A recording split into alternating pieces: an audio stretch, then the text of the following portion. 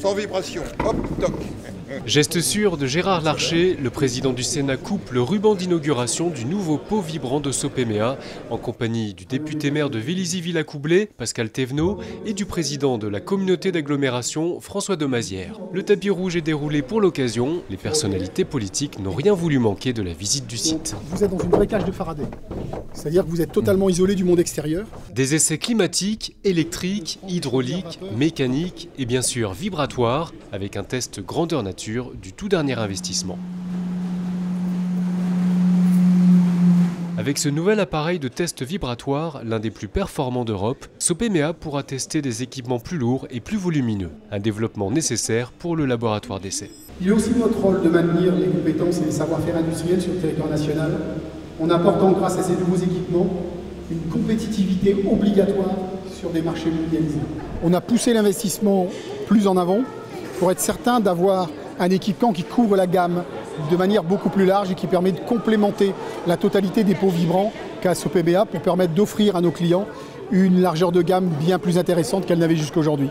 Enrichir l'offre auprès des industriels de l'aéronautique, du spatial, du nucléaire, de l'énergie ou de la défense, tout en limitant drastiquement les risques de pollution, c'est le pari remporté par Sopemea grâce au rendement de 90% du nouveau pot roulant.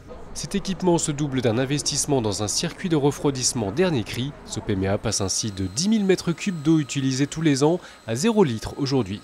Une responsabilité assumée avec un coût de 2 millions d'euros qui remporte l'adhésion des représentants politiques. Des entreprises comme celles que nous voyons ce matin qui investissent, qui s'engagent, c'est bien le signe qu'il y a un avenir pour l'industrie en France et en Europe. Le fait d'avoir le patron d'Airbus, le, patron de, Boeing, de Dassault, euh, qui vient ici pour voir ses essais, et eh bien en fait ça, participe au rayonnement de la ville. Les autres entreprises ont besoin des tests euh, qui sont réalisés ici.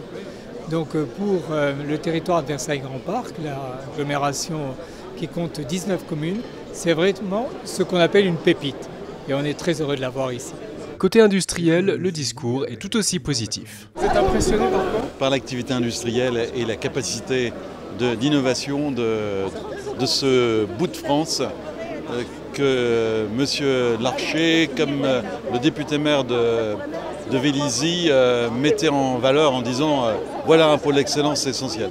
Ça m'inspire beaucoup, beaucoup de respect et donc une entreprise qui investit, c'est une entreprise qui est euh, performante, euh, qui investit en l'avenir et c'est pour un chef d'entreprise euh, bah, la meilleure chose.